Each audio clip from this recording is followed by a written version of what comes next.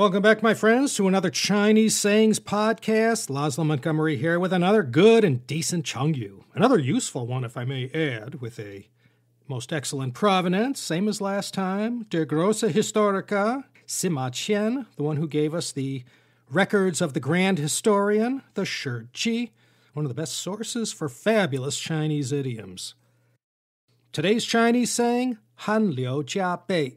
We can all relate to this one, and now that the summer is here and the times are tense all over the world, this one's so useful it belongs in your random access memory rather than putting it on a five and a quarter inch floppy drive. Han Liu Jia Bei. Let's break it down into its constituent parts. Han means sweat or perspiration, and Liu means anything that flows, like water. So Han Liu would mean the sweat was flowing.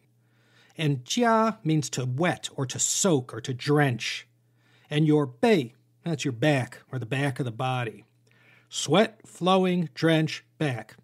Eh, this is one of those sayings you could sort of get it. You know where this one is going. Its meaning is clear.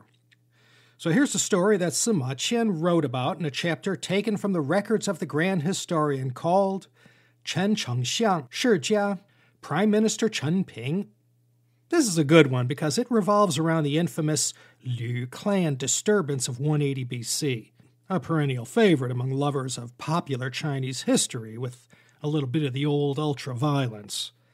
Empress Lü, I will go out on a limb here and declare she has got to make almost anyone's list of the top five most reviled royal figures in Chinese history. Empress Lü, Lü Hou. You see, she was the empress of the Han Dynasty founder, Liu Bang. Now, we remember him also as Han Gaozu. When the Qin Dynasty up and died like it did so suddenly in 210 BC, there were two main contenders for the control of the empire that Qin Shi Huang left behind, and these were, of course, Xiang Yu of Chu and Liu Bang of Han. Chen Ping, he was a capable fellow who at first served Xiang Yu, but defected to Liu Bang and ended up becoming one of his most trusted and indispensable advisors. In fact, Liu Bang was so beholden to Chen Ping, he made him his chancellor when he began building his Han dynasty. So when Emperor Gaozu died in 195 BC, Empress Lü was able to jump right in and install her eldest son onto the throne. This was the weak and feeble Emperor Hui of Han. And she won't be the last Empress Dowager to do this, but with essentially no one but her in charge, she grabbed hold of the reins of power and ran the show in China for a good 15 years until she died in 180 BC. Her son, Emperor Hui, according to Sima Qian, was so terrified of his mother he dared not ever push back on anything she said. And with no one to ever tell her no, Empress Lü was able to control most of the affairs of state she could even call a deer a horse if she wanted to, and she proceeded to stuff the imperial court with all her Lü family relatives as princes and ministers of China. If there was a plum position, it went to one of her kin. And when poor old Emperor Hui finally breathed his last at the tender age of 24 in 188 BC, Empress Lü declared herself regent for a new child emperor that she had installed on the throne and for eight more years she ruled the Han Empire. And when she finally reached the end of her days, one of her final acts was to name two of her Lü clan relatives Field Marshal and Prime Minister of China. She also gave these two relatives control over the Han Empire's southern and northern armies, respectively. She played the long game and had made it her mission to maintain absolute power over the empire her husband had founded, by controlling all the most powerful and important offices. And Empress Lü accomplished this by having all these important positions within the Han Empire filled by members of the Lü clan, and not the founders of the Han dynasty themselves, the Liu clan. The court ministers loyal to the Han dynasty watched this state of affairs with great anxiety, but while Empress Lü still lived, they dared not make any moves against her. But now that she was gone, one minister named Zhou Bo finally decided it was time for action.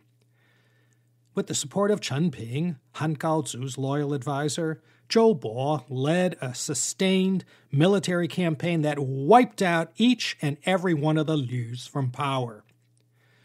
Then, once the Lüs were neutralized, Zhou Bo and Chen Ping wisely installed Emperor Gaozu's son by another wife as emperor. And this son was named Liu Heng. Liu Heng would go on to become the renowned Emperor Wen of Han, one of China's truly great emperors. Emperor Wen would be followed by his son, Emperor Jing, another great Han emperor, and rounding out this trifecta of great emperors was Emperor Jing's son, who reigned 54 years as the consequential Emperor Wu, and together, this father and son and grandson were called by many among China's greatest emperors. When Emperor Wen first ascended to the throne, he rewarded Zhou Bo and Chen Ping by naming them co prime ministers, rewarding them for their role in squelching the Lü clan. Now, with that long historical introduction out of the way, here's the story behind our Chengyu for this time. Chen Ping took to affairs of state like a fish to water. He was a natural at delegating, keeping accounts, and presiding over judicial matters. Zhou Bo, on the other hand, well, he was a, he was a military man through and through, and not so handy behind a desk. But now that there was peace throughout the land, Zhou Bo's martial skills were no longer needed. But in his new role as co prime minister, he found himself way out of his element, not to mention his comfort zone. One day early in his reign, Emperor Wen held court in order to familiarize himself with his country. He addressed Zhou Bo first. Minister, can you inform me how many criminal cases were tried in the Han courts this year? Zhou Bo had no idea and could only shake his head in reply.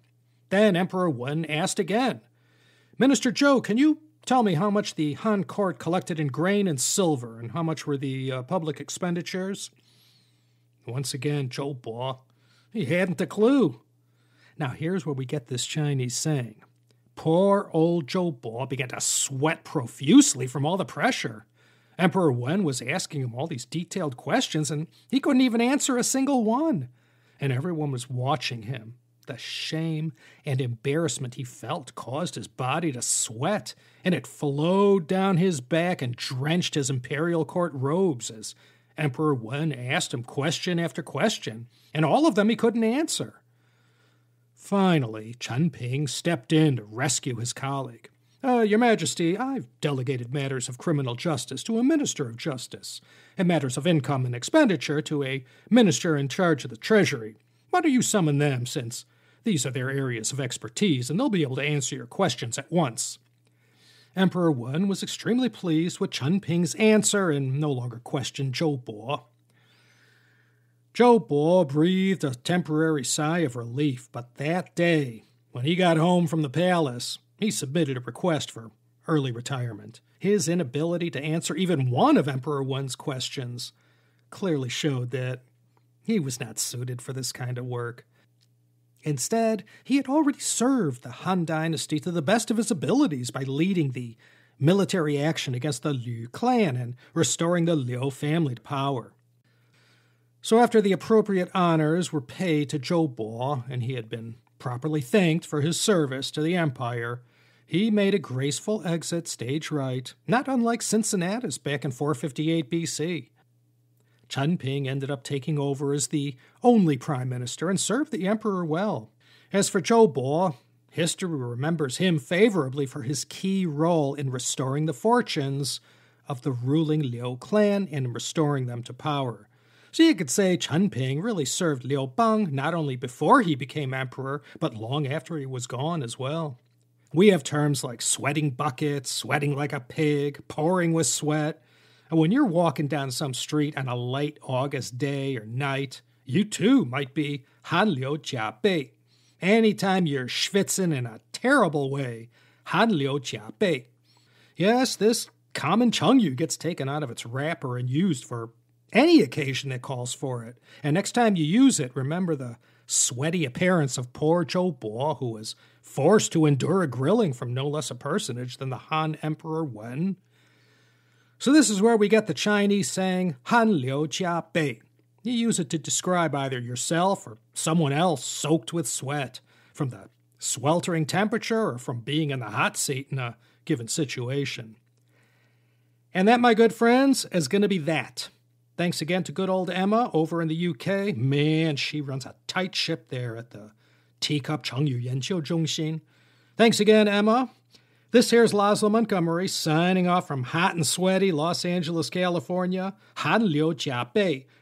Trust me when I say I'll be back again, once more with feeling, for another useful episode of the Chinese Sayings Podcast.